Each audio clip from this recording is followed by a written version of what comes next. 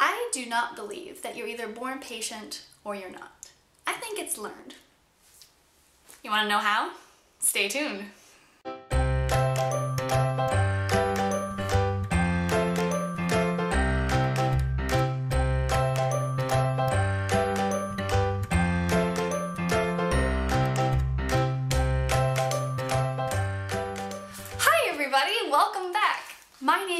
Amber. I'd like to give you a warm welcome to my channel if you've never been before or if you're a returning guest. I'd like to remind you before we get started that if you'd like to see more videos like this to subscribe and please feel free to comment as the video goes along and give your opinion on today's topic, which is, you ready for this? How to be patient. On the one hand, this is a ridiculous video to make because it makes it sound like I've got my life all together and I don't. But on the other hand, I've had lots of practice having to learn patience, so that sort of kind of makes me an expert. Patience has been on my mind a lot lately because I have so many things that I'm waiting for and I'm eager for them to happen and I they're not happening, like I have to wait. I used to think this was just a stage of life, but I'm learning the older I get that everybody has something they're waiting on. So instead of thinking there's this magical stage we're going to reach in life where all of a sudden we don't have to be patient anymore, wouldn't it make more sense to actually study how to be patient? That's not a crazy thing to do. So I think everybody has this idea that you can't learn patience. Either you come with it or you don't. I'm a seamstress by trade and I cannot tell you how many times I've had this conversation. You sew for a living? You must be such a patient person. I could never sew for a living. I just don't have the patience. We think it's just this magical thing of either we know how to be patient or we don't and we're just born that way. I'm here to tell you that's not true. No, not true at all. So the Bible teaches that if someone has the Spirit of God living inside of them, it produces things. And it, there's a list of those things in Galatians. Patience is one of those things. Um, the Bible also refers to it as um, forbearance, long suffering, um, several other words are used to just encompass this idea of being patient. So obviously, I have a long ways to go in learning about things in life, but I want to share with you two main things that I've learned that help with developing patience, and one of those things has like subcategories under it, okay? Let's get started. One of the th biggest causes of impatience is this tiny fear inside that maybe we don't even acknowledge that says, this thing is never going to happen. And we just, we get anxious, we get, we just fretful, we want it to happen, and the reason we get so tight about it is because deep inside we're afraid it's never gonna actually happen. Now, the Bible talks about experience produces hope, and hope makes us not ashamed. It also says that um, if you let patience have its perfect work, you will be perfect and complete, wanting nothing. So the idea of a person who has learned to be patient is, is a completed person, not necessarily a um, perfect not in the sense of never does anything wrong, but perfect in the sense that they are complete and and whole and they're not constantly chasing after the next thing. They've become patient. So there's this idea expressed that a person who is patient is completely satisfied because they're not just living in the present. They're they have eyes for the future and they're uh, completely 100% convinced it's gonna happen. So they're not worried about it. They're like, it's going to happen.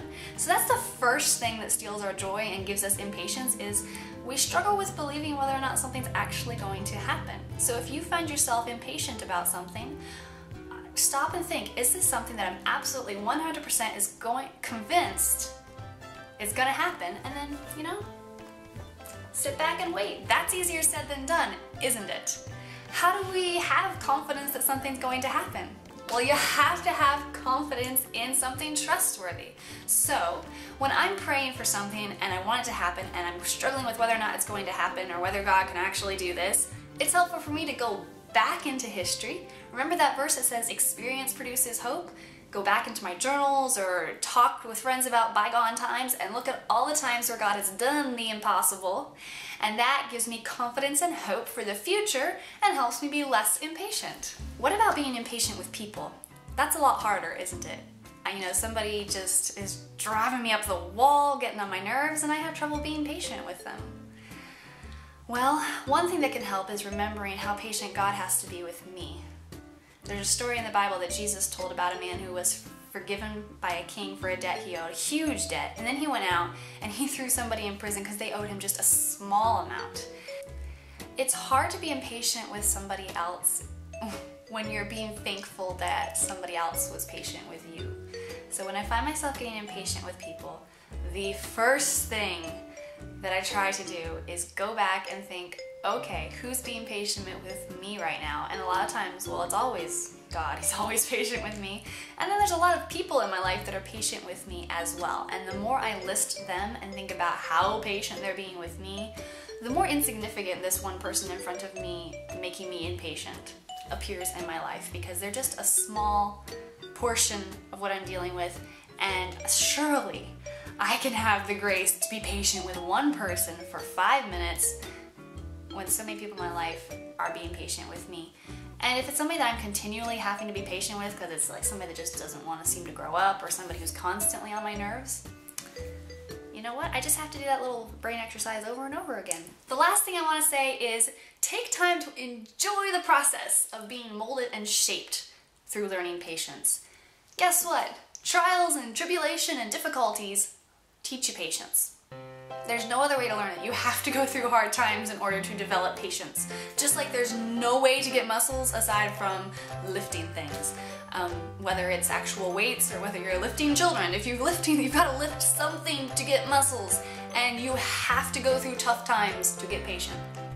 So, to get patient to get patient. You have to go through tough times to develop patience. So don't be afraid of that. Try to just enjoy the process and learn as much as you can while you're going through it.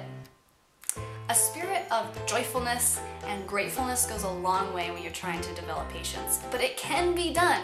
Maybe not perfectly. I don't think any of us will ever be perfectly patient. I'm probably going to walk out of here and be impatient with somebody as soon as I'm done with this video, because that's how life works.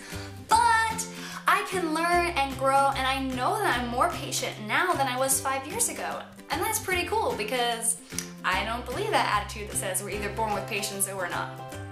So yeah, I'm having to learn patience right now in the area of deputation. If you don't know what deputation is, watch my last video and that'll explain what that is. But yeah, things don't happen as fast as I want them to, so I'm focusing on enjoying the process and enjoying what I'm learning through it. Thank you for being so patient throughout this entire video. I would love if you would comment below and tell me what's one thing you're struggling with right now, learning patience, and I will pray for you. And um, I will, yeah, try to encourage you if I can. Who knows? Maybe I've gone through the exact same thing and we can help each other. Anyway, I thank you for watching. I would love it if you would subscribe and comment and interact with me and all that fun stuff. And yeah, I'll next video soon. Up until then, I hope that you have a great rest of your day